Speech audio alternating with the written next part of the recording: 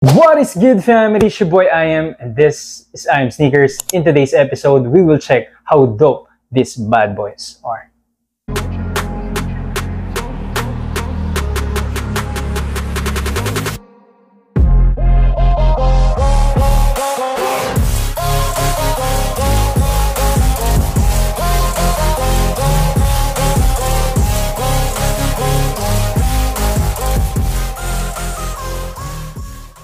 If you haven't yet already, or if you are new to this channel, feel free to subscribe and hit that notification bell so that you will be the first one to get notified when I drop a new video. And you can also find me outside YouTube on Facebook and Instagram.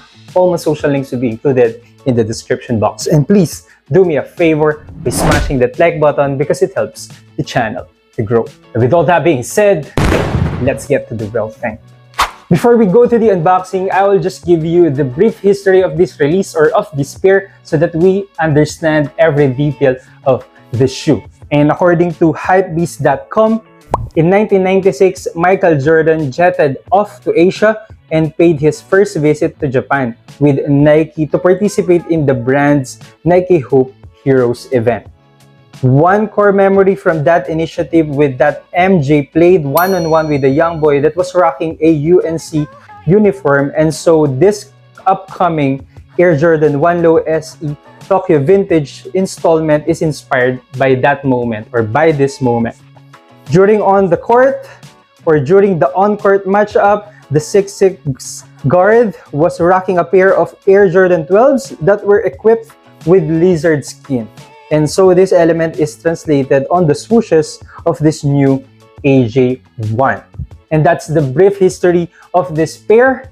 And it is nice to know the story behind every release or every shoe because it adds value to the shoe. This pair has no definite release date, but it came out recently here in the Philippines last April 1, Saturday in a retail price of 120 US dollars and that is 6,195 in Philippine peso. And with that said, let's start the unboxing. So the pair comes in a typical black Jordan box with Air Jordan Wings logo at the top lid of the box in glossy finish and on all sides. And on this side, you have the uh, size tag sticker or box label. And it says here, Air Jordan 1 Low SE and SE stands for Special Edition and the official colorway is Dutch Blue Smoke Gray Sail. So let's open the box. Upon opening the box, it comes with a typical wax or tissue paper and here is the shoe. This is the Air Jordan 1 Low Tokyo 96. Mm-hmm. Mm -hmm. Mm-hmm. Let's go. I wake up to a little bit of drool on my pillow, feel like it's gonna be a bad day. Yeah, I'm tired of shit, and the coffee ain't hit yet, damn, ain't that great.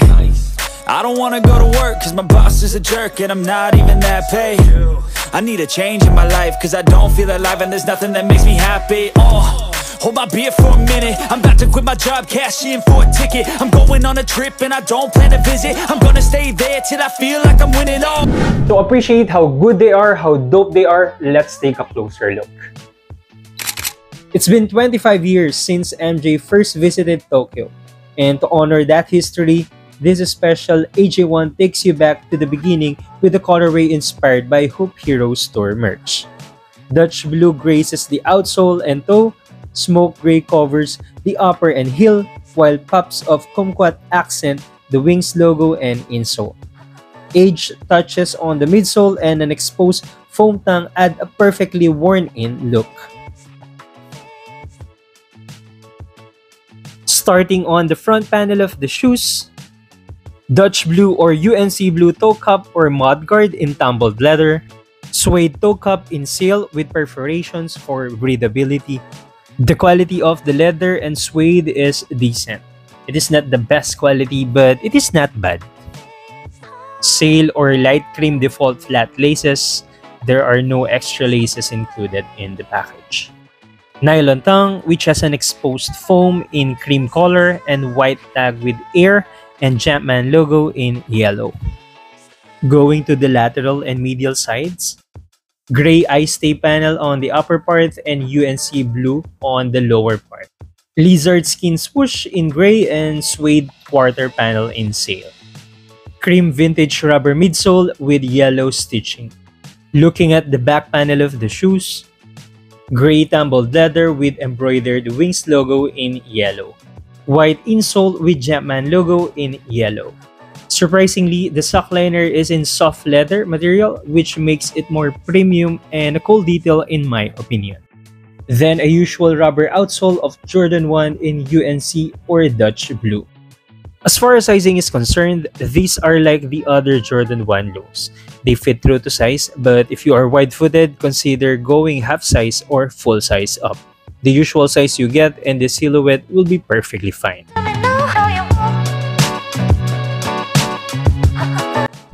Honestly, I really dig this and even more when I finally understand the story behind it. The story gives or adds value and gives explanation in every detail of the shoe. And in my opinion, this is one of the cleanest colorway of Jordan 1 lows to release this year 2023. You can go wrong with that UNC colorway with off-white and union vibe. I just love the colorway. I just love the vibe, the summer vibe of this colorway. I just wish they came with uh, UNC blue or pink extra laces, but it is what it is. And yeah, these are straight fire chef's kiss. And that's pretty much all about this episode. That's how good the Air Jordan 1 Low SE Tokyo 96. Let me know your thoughts on this pair. Do you love this colorway? Did you cop one or planning to get one? Anything that you want to share, leave a comment below and let me know. And please don't forget to like, comment, and subscribe. And always remember, cop what you want, rock what you love. See you on the next one. Peace. God bless. Hanggang sa muli.